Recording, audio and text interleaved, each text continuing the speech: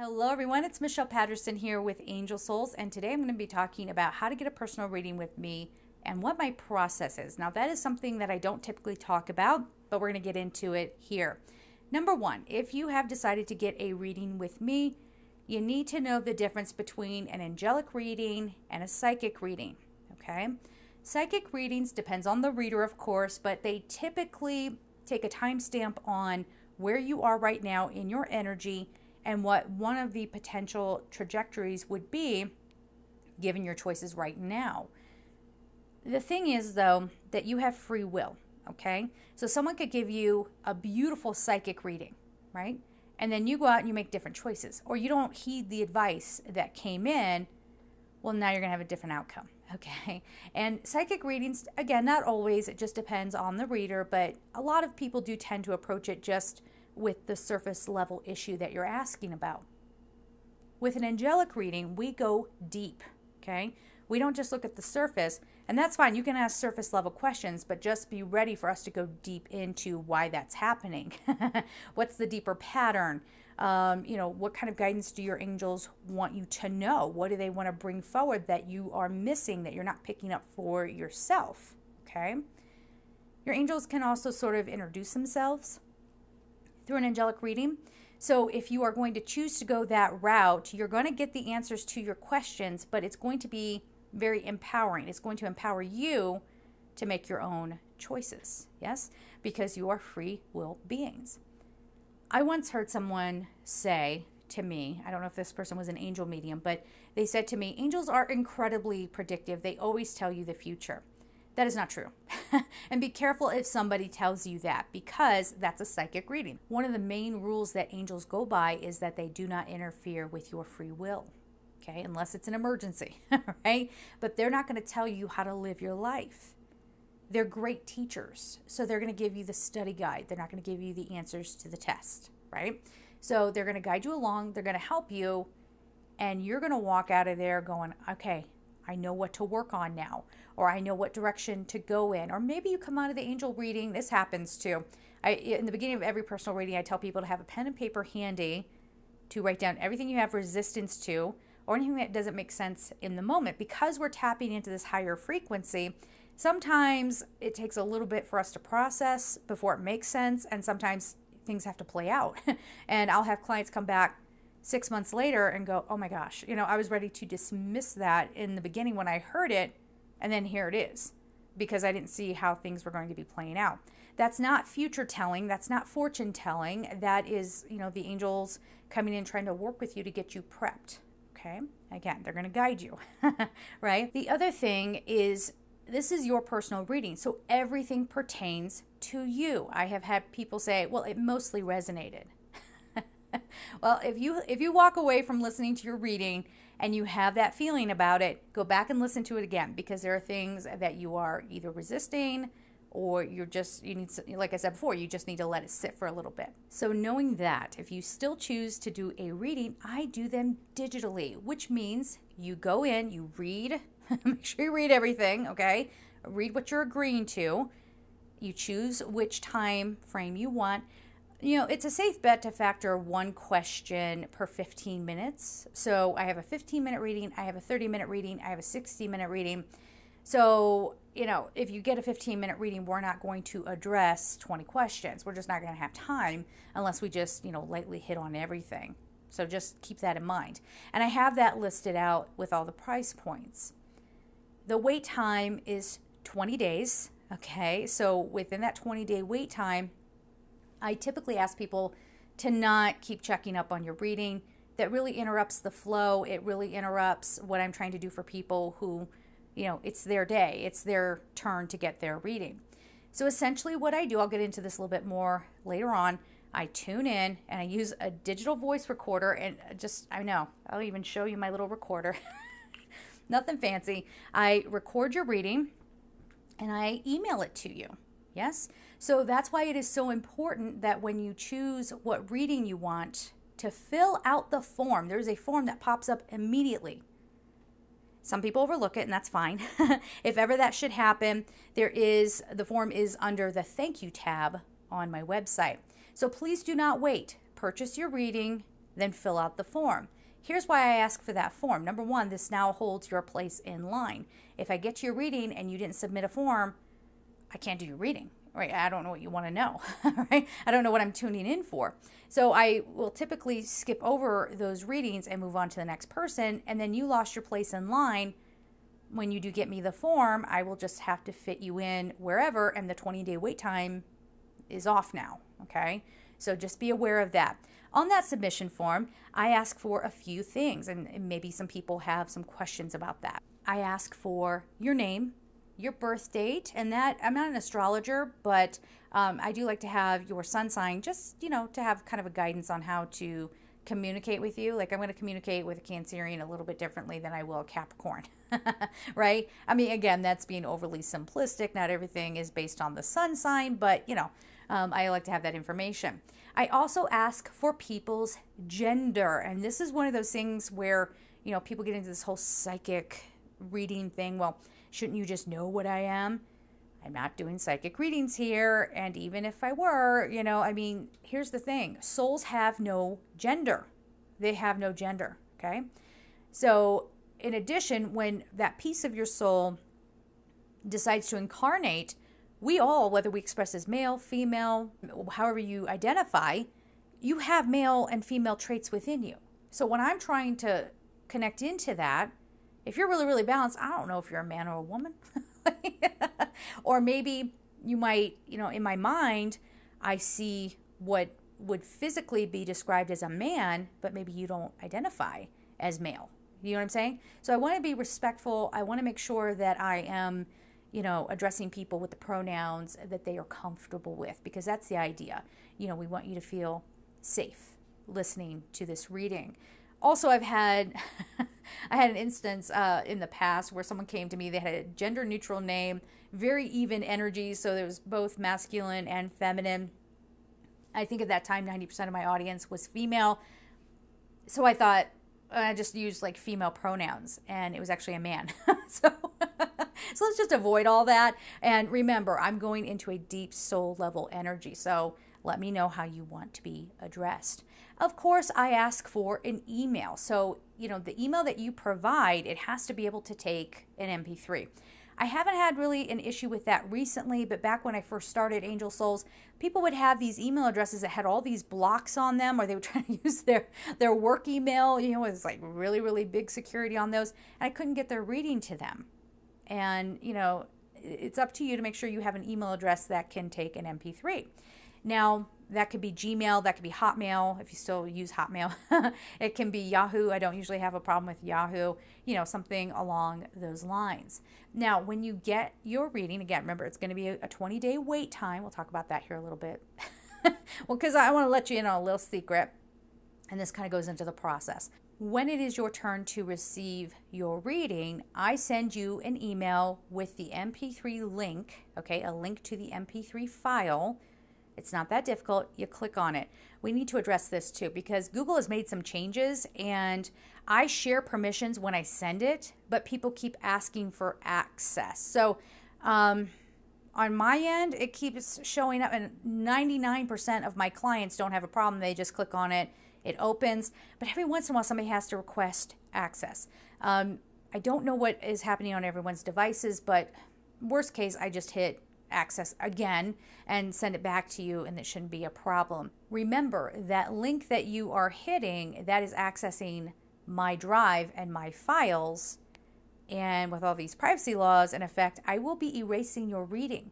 So I say in the beginning of every, you know, voice recording that you know you have to immediately download and save your reading to your computer. It's not enough to save the email with the link because I'm going to be erasing it.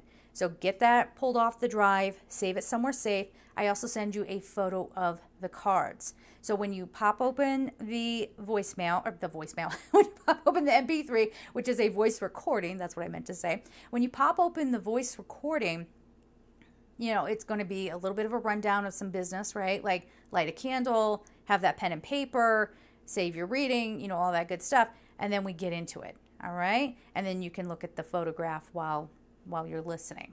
Okay. A few practical things that just in my time doing this that I've discovered it doesn't work. Um, again, don't reach out before the due date, okay? That wastes a lot of time. But also, if you don't have your reading by the morning of day 21, something happened. Okay, I've never been late on a reading except for one time, and that was when PayPal was, uh, that was when I was going off my PayPal list. That's why I had to change. um, PayPal was going through some sort of upgrade or change or it glitched. I don't know what happened, but this person didn't show up in my list initially. I had to run a whole other list to see that they were there. They contacted me on the morning of day 21.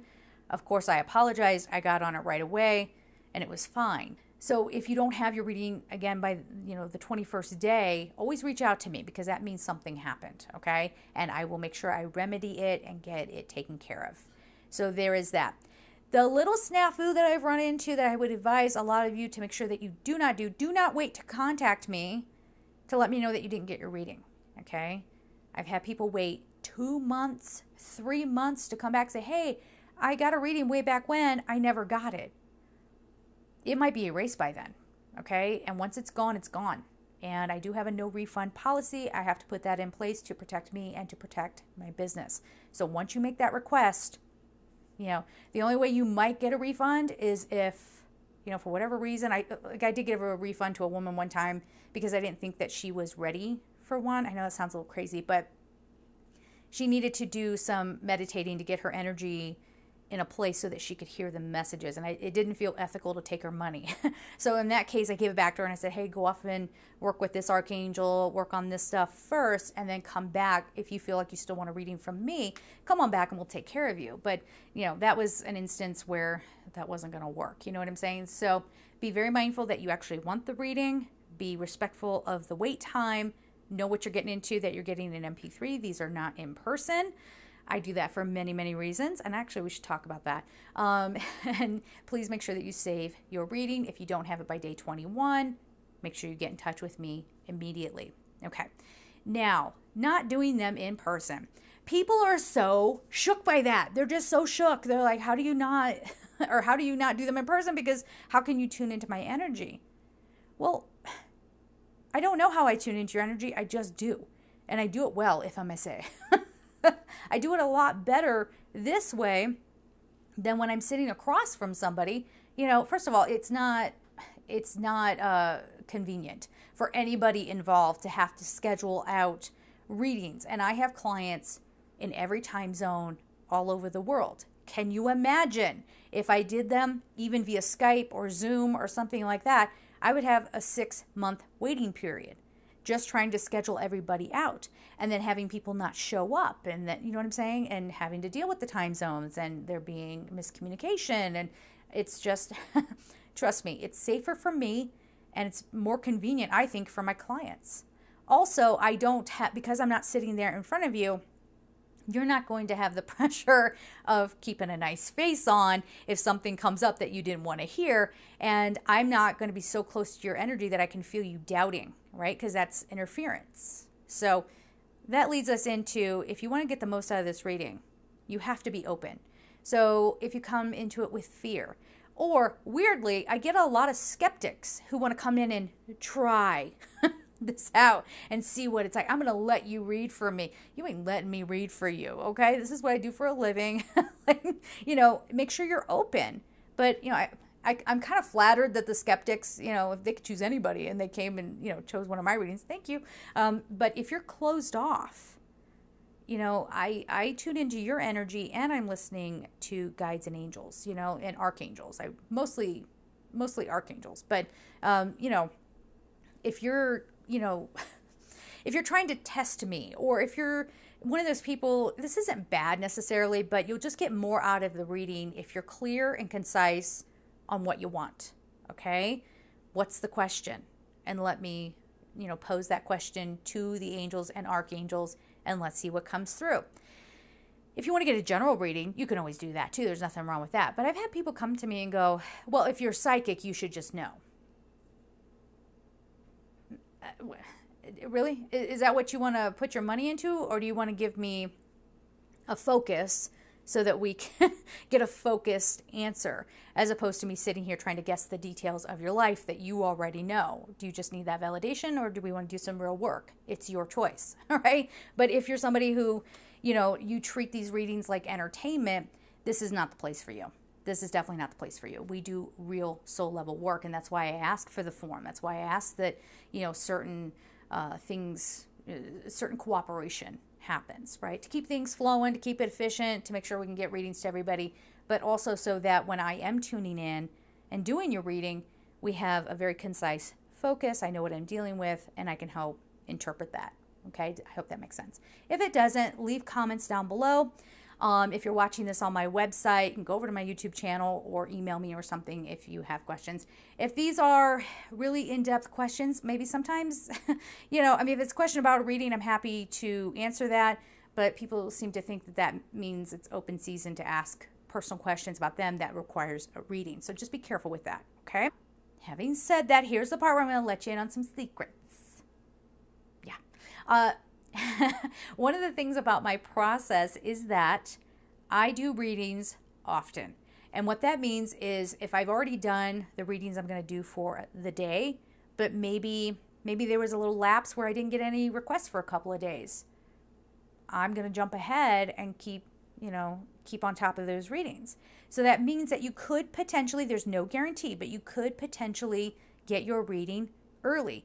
There have been times where I'm getting ready to travel and I've been working around the clock getting uh, readings together. And maybe you pop one in, and I've got, you gave me a 15 minute request. I've got 20 minutes before I have to leave for the airport.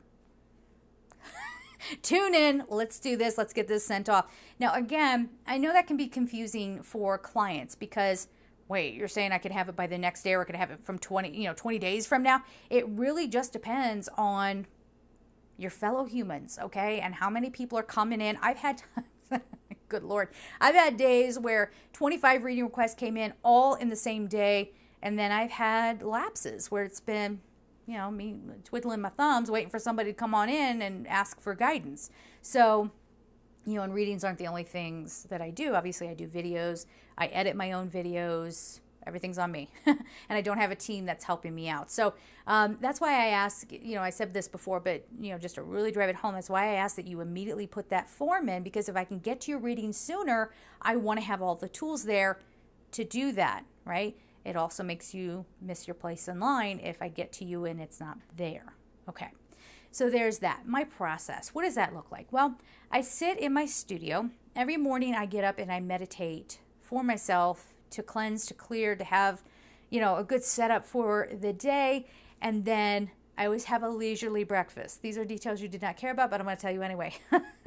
that is me time. Breakfast time is me time with my good cup of coffee. I don't check emails, you know, forget that noise. I'm going to I'm going to have my eggs and my coffee, right? So I do that and then I will typically, you know, that's when I start checking emails and I get set up for the day. So I see who's in line next. I line them up for that day. I cross check to see if they've made a payment. I try to put a lot of safeguards in place to make sure nobody gets overlooked and to make sure everything goes smoothly. You know, I do my best on this end. Um, and then I get my recorder ready. I get my computer sitting right here. I light my candles. And sometimes, if I feel like I won't even read people's submission page until I'm getting ready to do their reading. But sometimes I feel like, you know what? We need to have some quartz crystal. Um, someone, I have a feeling today's going to be a big love. I don't have a piece of rose quartz near me. I don't think. No, I don't. Um, but if I feel like it's going to be a big love day, I might pull some love crystals. I get my candles set. If I feel like I've had a stressful time, then I will sage or, you know, what have you. I get the space nice and clean get everything ready. I clear out the cards. I breathe and I meditate. Before I even, you know, look at the first client, I breathe, get all tuned in, and then I read or well, I look at the person's name and some of their info. I actually read while I'm recording, and the reason why I do that and part of my process is that I was discovering it's two things. One is practical, one is for tuning in. But um, the tuning in part is while I'm reading, they could be answering while I'm reading. Yes? So I like to go through and do that. it was also kind of an issue with people sending me huge, long email attachments that were pages and pages long, and they got a 15 minute reading, and they really expected me to read, you know, these five pages in a Word document and then start their reading. We're not doing that, okay? I'm not spending 20 minutes to read your questions to do a 15 minute reading. So, you know, if you are a fellow reader, I would encourage you to do that as well. You know, don't read the stuff ahead of time. It, you know, go into where the time is because I don't know if it's helpful, but I find that they chatter with me as I'm reading it, as I said, and you're, you know, you can be a little more efficient in your lineup for a day, right? So that's when I, you know, I hit record on the recorder. I'm reading someone's submission, you know, and I give them whatever is coming up.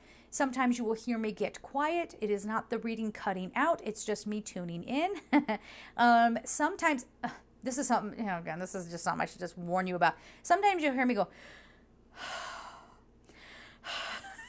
I'm sorry. I know it's weird. It's totally weird. It feels weird.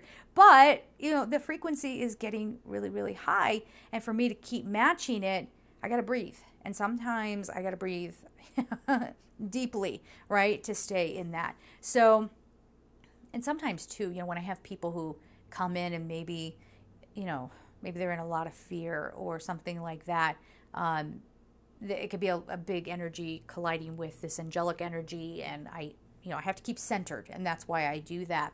But yeah, if you hear me suddenly, I'm talking and then I cut out, as I said, you know, that's me listening. But I also will sometimes stumble over my words. That's just me being inarticulate sometimes. But other times, that is seriously like my mouth is trying to go, and I'm hearing, I'm clairaudient, I'm uh, claircognizant, excuse me, Clear claircognizant, clairsentient, uh, clairvoyant, and uh, clairaudient. Did I say that already? I don't know. I got some clairs, okay? I got some clairs going on for me. But anyway, I can hear messages coming through, and I'm trying to talk, and I'm like, yeah. So you'll get like a mashup of words sometimes. I hope you find it charming because I don't know how to work around that and still be authentic and trying to give you your reading. Uh, another thing about my approach, I do not coddle people. And so, if that is something that, you know, if you have a very, very uh, delicate ego if you're getting a reading just to be told how wonderful you are or that you're special because you're from planet Nubu or whatever, um, and that your journey is harder than anybody else's, you're not going to get that here. You're not going to get that here.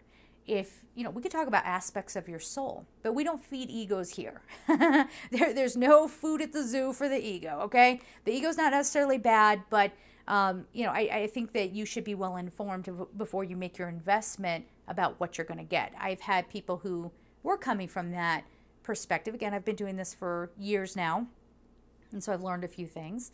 And people would often be disappointed. I had a woman who was disappointed that it wasn't in person, and she actually got quite angry, even though it was listed on my website very, very clearly that this would be an email reading. Okay.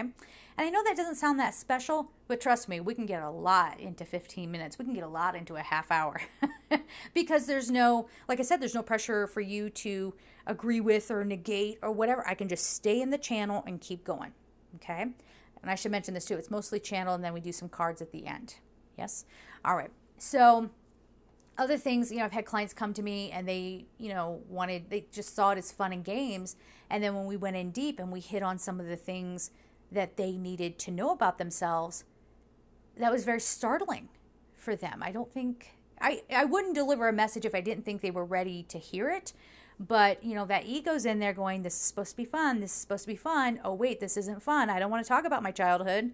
Oh, wait, I don't want to talk about this, that, or the other and then they get upset and they go away, right? So I don't want people doing that. I want people here who are ready to dive in to look at things. Again, you can ask, like, Michelle, why the heck do I keep dating the same kind of person? I love those questions because it's it's genius. And it shows that you are you're ready to break a pattern when you acknowledge it like that. So that's wonderful. Or why do I get stuck in my job? Or what are some potentials? Or where can I, you know, we can always start there, but we're going to go deeper.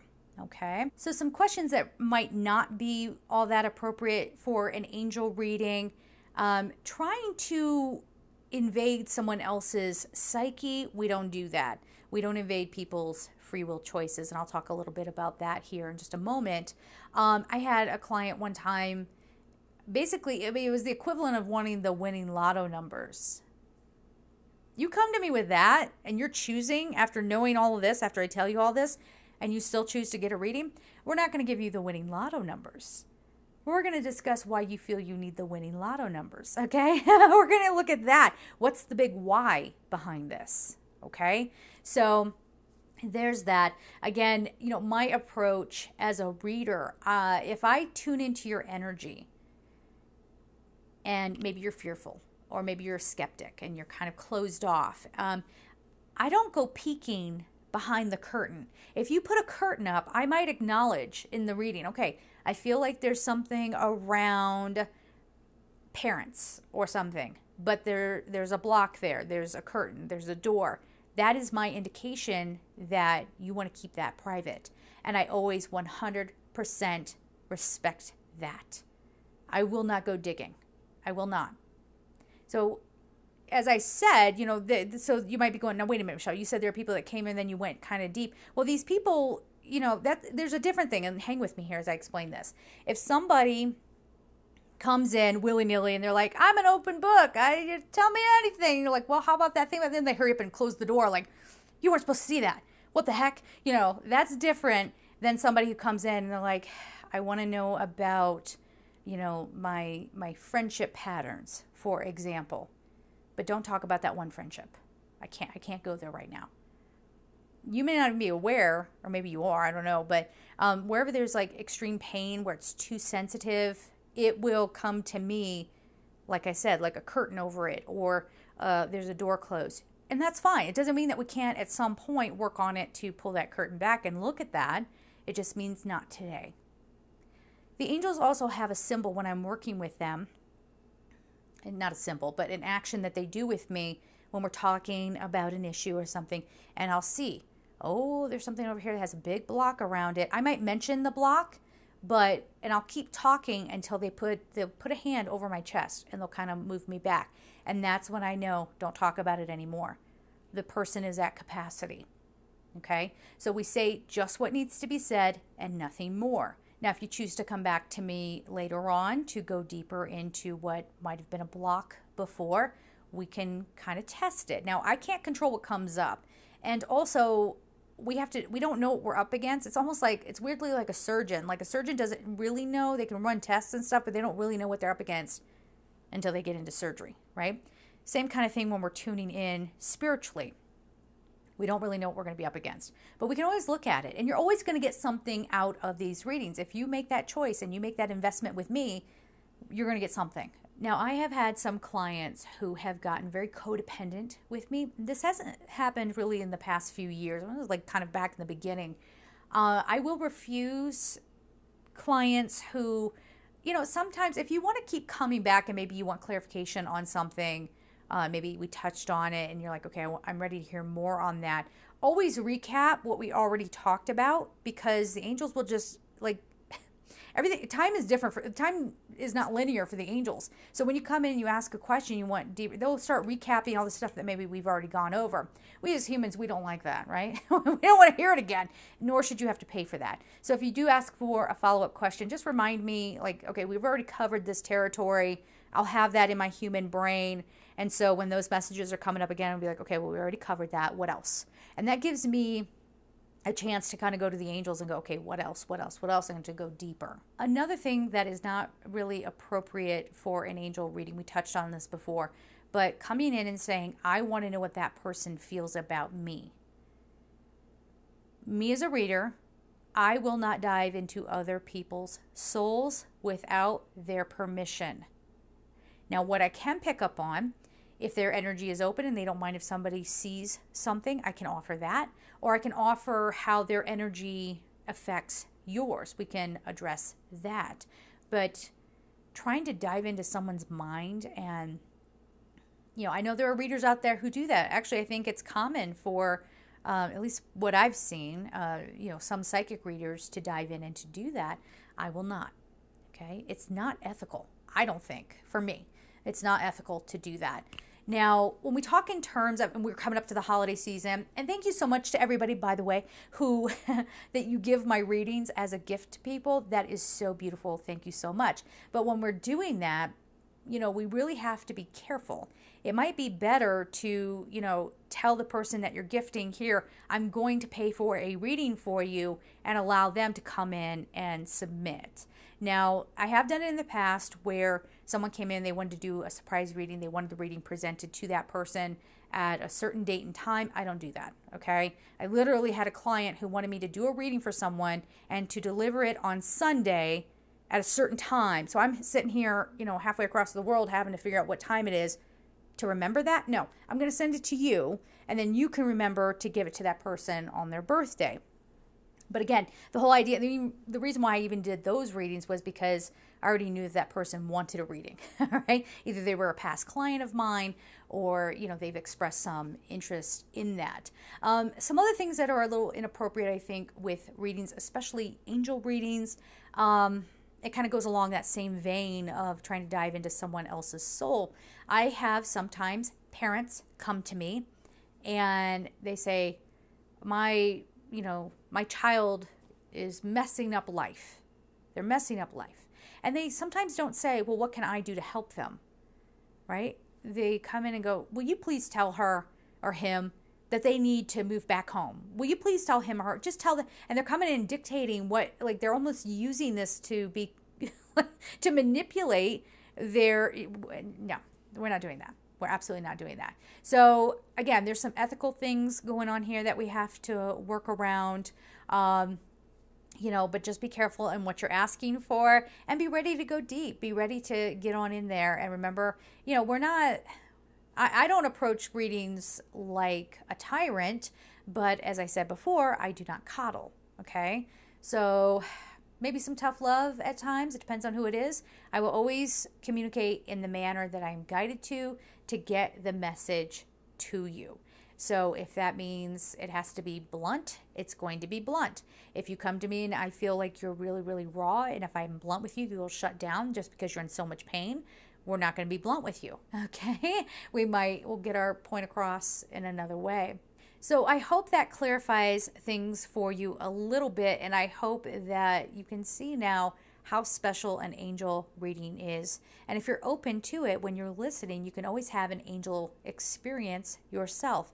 But you do need to be in a calm, peaceful, sort of elevated space in order to perceive your angels as you are listening. Okay? So we're going to leave it there, guys. If you have further questions for me, don't hesitate to ask. I'm sending you so much love. Thank you for your support and take care.